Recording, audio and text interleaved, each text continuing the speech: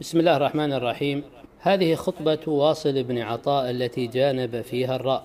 الحمد لله القديم بلا غاية والباقي بلا نهاية الذي علا في دنوه ودنا في علوه فلا يحويه زمان ولا يحيط به مكان ولا يؤوده حفظ ما خلق ولم يخلقه على مثال سبق بل أنشأه ابتداعا وعدله اصطناعا فأحسن كل شيء خلقه وتمم مشيئته. وأوضح حكمته فدل على ألوهيته فسبحانه لا معقب لحكمه ولا دافع لقضائه تواضع كل شيء لعظمته وذل كل شيء لسلطانه ووسع كل شيء فضله لا يعزب عنه مثقال حبة وهو السميع العليم. وأشهد أن لا إله إلا الله وحده لا مثيل له إلها تقدست أسماؤه وعظمت آلاؤه على عن صفات كل مخلوق. وتنزه عن شبه كل مصنوع فلا تبلغه الأوهام ولا تحيط به العقول ولا الأفهام. يعصى فيحلم ويدعى فيسمع ويقبل التوبة عن عباده ويعفو عن السيئات ويعلم ما يفعلون. وأشهد شهادة حق وقول صدق بإخلاص نية وصدق طوية أن محمد بن عبد الله عبده ونبيه وخالصته وصفيه ابتعثه إلى خلقه بالبينات والهدى ودين الحق فبلغ مالكته ونصح لأمته وجاهد في سبيله. لا تأخذه في الله لومة لائم ولا يصده عنه زعم زاعم ماضيا على سنته موفيا على قصده حتى أتاه اليقين. فصلى الله على محمد وعلى آل محمد أفضل وأزكى وأتم وأنمى وأجل وأعلى صلاة صلاها على صفوة أنبيائه وخالصة ملائكته وأضعاف ذلك إنه حميد مجيد.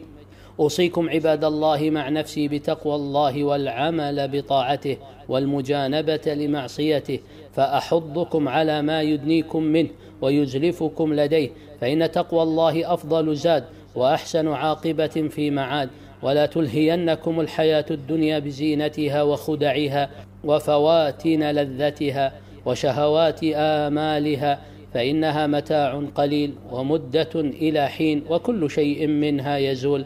فكم عاينتم من أعاجيبها وكم نصبت لكم من حبائلها وأهلكت من جنح إليها واعتمد عليها. أذاقتهم حلوا ومزجته لهم سما أين الملوك الذين بنوا المدائن وشيدوا المصانع وأوثقوا الأبواب وكاثفوا الحجاب وأعدوا الجياد وملكوا البلاد واستخدموا التلاد قبضتهم بمخلبها وطحنتهم بكلكلها وعضتهم بأنيابها وعاضتهم من السعة ضيقا ومن العز ذلا ومن الحياة فناء فسكنوا اللحود وأكلهم الدود وأصبحوا لا تعاين إلا مساكنهم ولا تجد إلا معالمهم ولا تحس منهم من أحد ولا تسمع لهم نبسا. فتزودوا عافاكم الله فإن أفضل الزاد التقوى. واتقوا الله يا أولي الألباب لعلكم تفلحون. جعلنا الله وإياكم ممن ينتفع بمواعظه ويعمل لحظه وسعادته. وممن يستمع القول فيتبع أحسنه.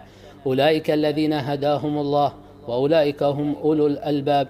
إن أحسن قصص المؤمنين وأبلغ مواضع المتقين كتاب الله.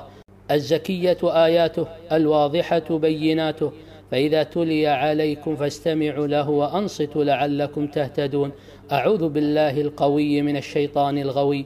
إن الله هو السميع العليم. بسم الله الفتاح المنان. قل هو الله أحد الله الصمد لم يلد ولم يولد ولم يكن له كفوا أحد. نفعنا الله وإياكم بالكتاب الحكيم وبالآيات والوحي المبين وأعاذنا وإياكم من العذاب الأليم. وادخلنا وإياكم جنات النعيم.